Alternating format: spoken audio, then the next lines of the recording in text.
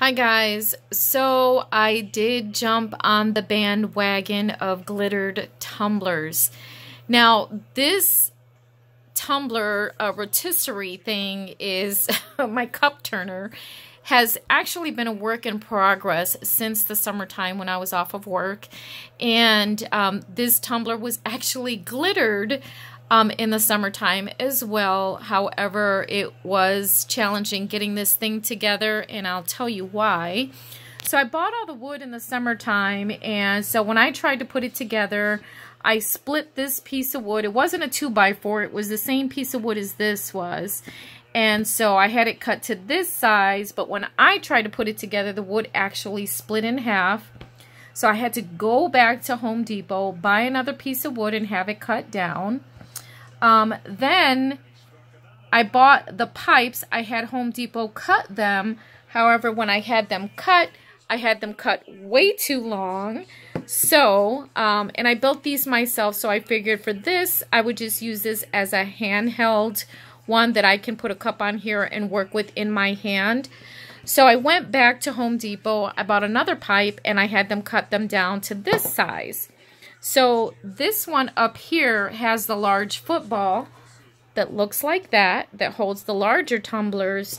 And then so this one is the small version. Of course, the footballs are from Dollar Tree. And then the next thing that happened is the long piece of metal that came with my rotisserie that I ordered from Amazon, my daughter threw away. So I'm like, great, now I can't build my tumbler because I don't have that metal piece. However, I went onto Etsy and I found that somebody was selling them already cut down to size, which was perfect. I'm like, great, it works out. Then I'm like, okay, so how am I going to get this piece onto here, right? So then I Googled that again, and then I found that Feather Bear Designs actually had a video where they added her husband, um, I think his name is Dan, um, he had added these little Nerf balls to the shaft in order to hold this pipe. So this ball fits perfectly inside that pipe there. So then he had a drill press that he was able to drill the hole into the Nerf ball. I don't have a drill press. So I thought, okay, the next best thing is to take my handheld drill and start drilling a tiny little hole with the smallest bit I could find.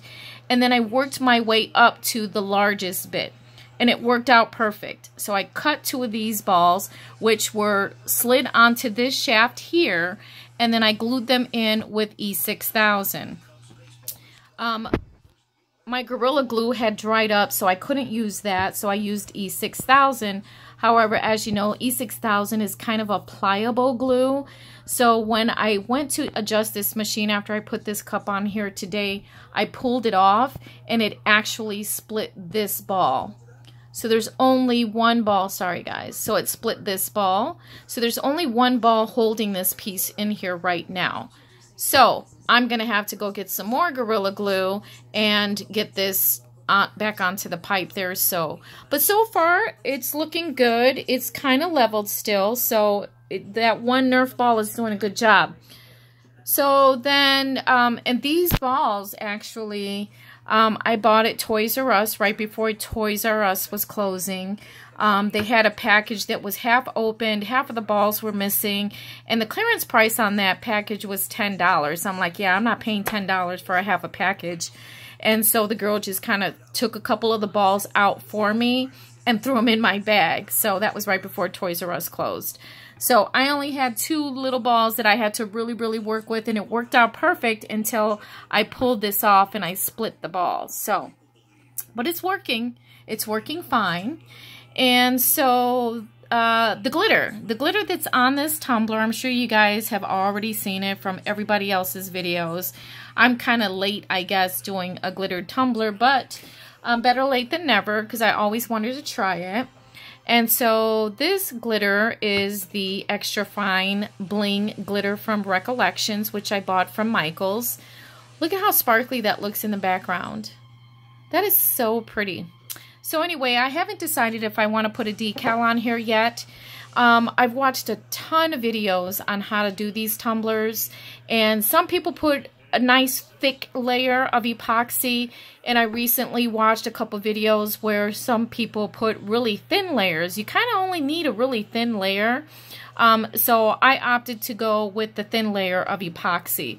So with regards to the tumbler, however, I did do the Mod Podge way. I did a, a layer of Mod Podge, then I put glitter on it, I let it dry, and then I did another layer of glitter, and so now I put a thin layer of epoxy on there. The tumbler's been sitting since the, the summer, so it's been glittered since the summer, so it was way dry for me to work with with the epoxy. But if you do the Mod Podge with the glitter, I would recommend letting it sit and making sure it's dry all the way.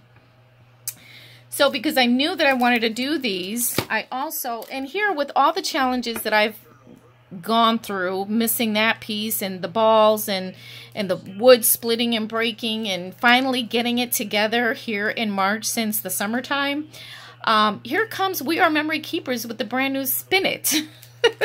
I was so tempted to just say, you know what, screw it, I'm not going to build my own, but I'm like, no, make it happen, Marilyn. You already have everything you need. So then I started searching online because I wanted to make sure I had the right gloves. So I did buy the nitrile or nitrile or nitrile gloves. So I bought a box of those. I can only find small online. So I bought them on Amazon.